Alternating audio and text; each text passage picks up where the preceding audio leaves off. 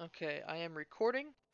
We're gonna start in three, two, one. Welcome back, Blood Bowl fans, to the Kringle Cup 2. That's right, the Kringle Cup is back and better than ever in a new league, and we're ready to play again. Isn't that right, Cole? Damn right. Darn tootin'. Uh, the Kringle Cup 2 is now a part of the Players on God League instead of the Rockin' Every Elf Dumb. Uh, and it uh, this year we have a lot of players from the last Kringle Cup, uh, the New Year New Cup, and a lot of new players new to this league and Blood Bowl. How exciting Mhm. is that, Cole? I am excited. We have 11 teams and one AI team that we use as a bye week. All right, let's get let's let's jump right into it. We're gonna go in order from uh, I guess registry. Uh, starting with my team, Onion Future News. Uh, the Onion Future News is a team by me, uh, and uh, we are a Norse team, a 12-man lineup. I'm bringing two runners, two Ulfwereners, uh, one, two, three, four, five, six, seven, eight linemen. I have uh, no apothecary. I have three rerolls and two fan factor. Cole, what can you tell us about the Norse teams? Well, the Norse team, right off the bat, nearly every player has block. Wow, that's big. Mm-hmm. Is that it? So, so right off the bat, they're pretty good at being smashy. yeah, for sure. But however, they have an armor value of seven on average. Yeah, that's true. So, despite the fact that they can hit hard, they can't be hit hard back. Mm. Interesting play style. Well, we're, uh, hopefully it goes good for me. We will see. Thank you. The next team in the list is the Jonestown Poison. This is a human team brought to you by Coach Davis, a veteran of the last uh, Kringle Cup and the New Year New Cup. Uh, he is bringing a 12-man lineup, one ogre, one, two, three, four, one, two, three, four blitzers, a thrower, one, two, three, four, five linemen, and a catcher. He has two rerolls, no apothecary, and two cheerleaders. Cole, what can you tell us about the humans? Well, the humans at the start, Mhm. they're pretty below average. Okay. However, give them a few levels, Mhm. and they can they can uh become a wide variety of different players. Okay. So what what what's the human specialty? What's the human play style? Well, they can go either way. Really? They can they can go for hitting, they can go for passing. Wow. Jack of all trades. So what are- what are some Mhm. cons? Why would you not pick a human team? Well, the cons being, uh, well, your linemen don't have any abilities at the start, Mm. Yeah. and their stats, other than the ogre, is pretty average. Mm. That's true. Wow. So uh, it'll be interesting to see how uh, how successful he is and uh, and what what uh, direction he decides to take the team in. hmm Thanks, Cole. Next, the next uh, team we're going to be looking at is the promo code MOAN by Coach Andrew. They are a Khemri team. It's the first Khemri team we've seen. Uh, and promo code MOAN is bringing an 11-man lineup of four Tomb Guardians, two Blitz-Ras, two Thro-Ras, and three Skeletons. They have two rerolls. Uh, they're not allowed to have an apothecary. They have one fan factor and one cheerleader. Cole, what do you know about the Khemri? Well, I know that the Khemri, the entire lineup, has regenerate. So Wow. that makes up for the fact that they can't bring an apothecary. Yeah, Is that every player has a built-in apothecary? yeah, wow. That's pretty good. Uh, it, I also noticed that these Tomb Guardians all have five strength. Yeah, that makes them very powerful hmm when going in for the for the smash. Oh yeah, they look like. Oh, go ahead. Sorry. They have a whopping armor value of nine. Yeah, So it'll be hard to take them down. yeah, but uh, they also all have uh, pretty low agility. How do you think that uh, affects the play style? Well, they're gonna have to wade through the line if they want to break through it. Mm. Well, it'll be interesting to see, especially since this is our first Khemri team. Uh, never seen one before, and I'd like to see how they play. Uh, moving on is the other actors of Hollywood, brought to you by Coach Connor, a veteran of the New Year New Cup, another Wood Elf team. Uh, Cole, what uh, what can you tell us about the Wood Elves? Oh wait, hold on, sorry. He's got no apothecary, no re-rolls, one coach assistant, and one cheerleader. He's got an 11-man lineup, one tree man, two throwers, two catchers, one, two, three, four. Wait, one, two, three linemen. No, four line, three linemen. One, two, three, three linemen. Uh, war dancer, four, four linemen. Damn it, they're out of order. four linemen, a war dancer, and a catcher. Uh, what can you tell us about the wood elves and how they play? Well, you noted that they didn't have any rerolls. mm-hmm. Well, the reason they probably don't have any rerolls is the fact that they are very uh, sufficient at what they do. And what they can do is pass the ball. That's true. Just like any other elf team. Mm-hmm. So they're a very pass pass heavy team. Uh, and uh, what, what would be some cons to the wood elf team? Well, I think the cons would be the armor value of seven, making them pretty squishy. Yep. However, some of them do have dodge, and the War Dancer in particular has block. Wow. So, depending on the team, they could take a couple hits. Wow. Okay. It, it'll be interesting to see. I know they did really well in the New Year New Cup. Uh, so we'll see if anybody has a counter to that this year. Uh, the next team is MCR's The Black Parade, brought to you by Coach Marlowe, uh, veteran of the Kringle Cup and the New Year New Cup. He's bringing us another Lizard Man team. He has two rerolls, no apothecary, one coach assistant, one cheerleader. He has an 11 man lineup with one Kroxigor, uh, one, two, three, four, five, six Sauruses, uh, and four Skinks. Cole, what are some pros and cons about the Lizard Men? Well, the pros about the Lizardmen is the Skinks. Mm-hmm.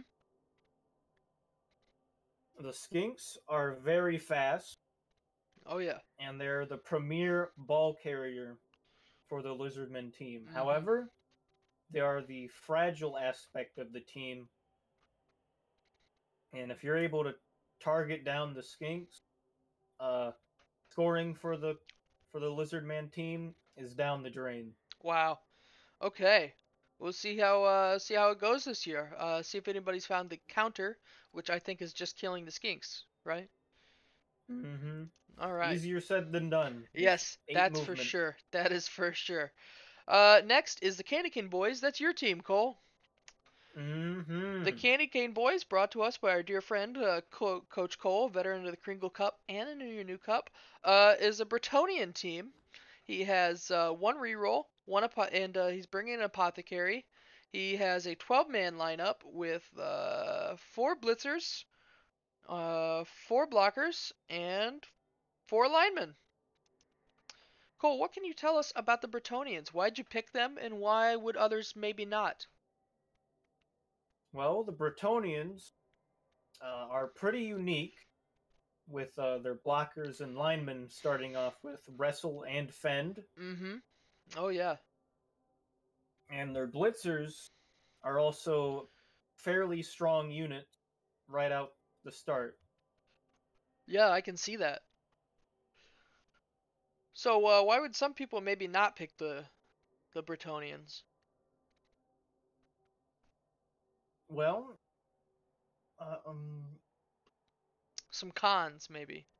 some cons for the Bretonnians is well, they've got several eggs and a few amount of basket, with their blitzers being only allowed four, Ah. and having four taking up half of the team gold.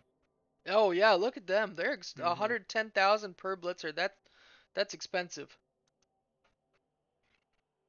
So if any of them get injured early on, it'll be pretty rough for the rest of the game, if not the series. Wow. All right. Well, uh, that'll be good to keep in mind. Good luck uh, to the Candy Cane Boys and you, Coach Cole. Mm-hmm. Uh, next is Elf, Elf, Elf, Elf. Or should I say it all as one? Elf, Elf, Elf, Elf, Elf. Elf, Elf, Elf, Elf. elf. I like, okay. Uh, by Coach Daniel, uh, who is new to the tournament and new to the game. Uh, Coach Danny is uh, bringing an Elven Union team with an 11 man lineup. He has two blitzers, Shit. One, two, three, four, five, six linemen uh, two catchers, and a thrower. Uh, he has no apothecary, but he does have three rerolls. Uh, Coach Cole, what can you tell us about the Elven Union? Well, the Elven Union is a bread and butter uh, passing team, much like all the other elves. Mm-hmm. Mm-hmm. However, the Union is able to uh, probably uh, spec out more uh, widely than uh, some of the other elf teams. Okay, okay, okay. So they're not uh, not super pass heavy like the other elves. I mean, obviously they're they're pass heavy, but they can they can maybe hold their own uh, a few seasons on against some Mhm. some bashy teams. Okay, I see, I see. Uh, and some cons maybe about the Elven Union. Well, I think the cons being uh, uh, their linemen start off with no uh, bonus skills. Mm-hmm.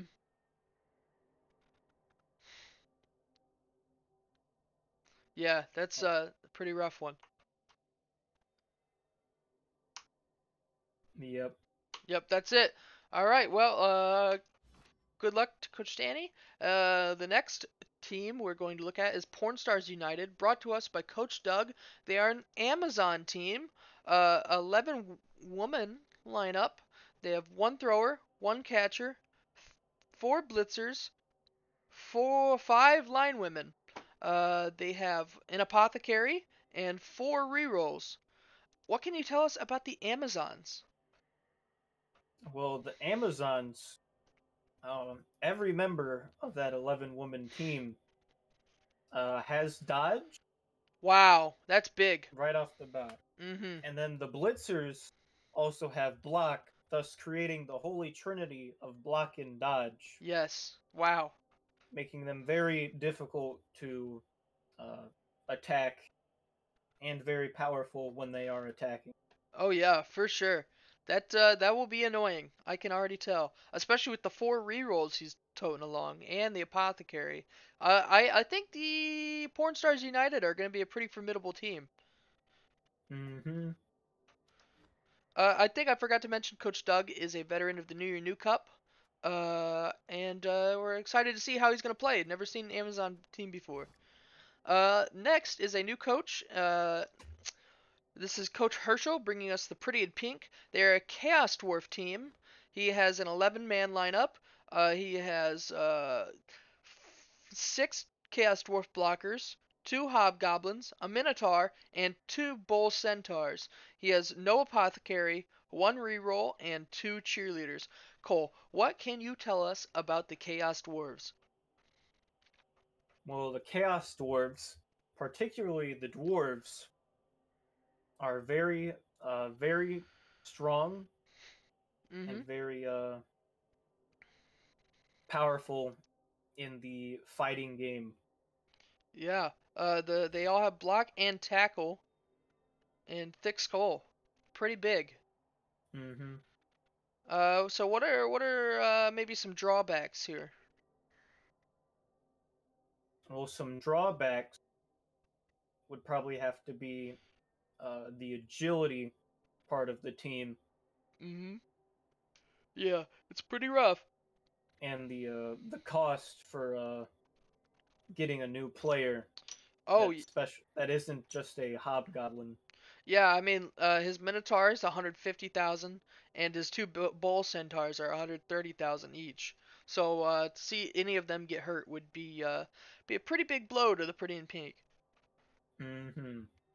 Well, good luck to Coach Hirsch. Uh, next, we have the Gigachads, brought to us by a new coach, Coach Alec, who's also bringing a Bretonnian team. He also has a 12. Wait, did you have a 12 man lineup? Yeah, I think Yeah. so. He also has a 12 man lineup.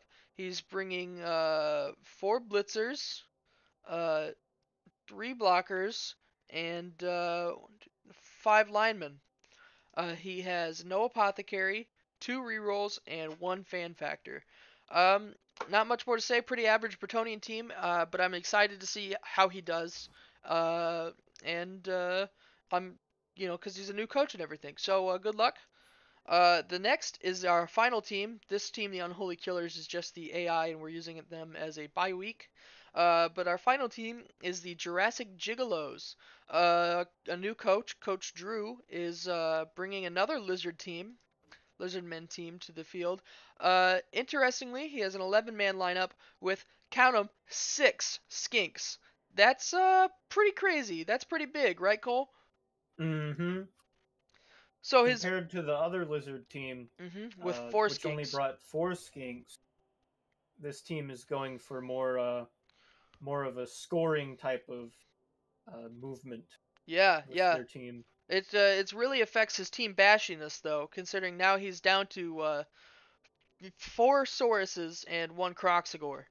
So that's I mean that's five bashy teams out of an 11 man lineup. That's less than half uh, of his team is bashy.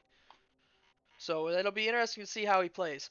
Uh, he has no apothecary and three rerolls, uh, and I'm excited to see how it works. Well, that is the uh, that's Kringle Cup two. Uh, what are you thinking, Cole? Do you uh, who who are you expecting to shine early on in this tournament? Well, early on, I'm expecting the uh,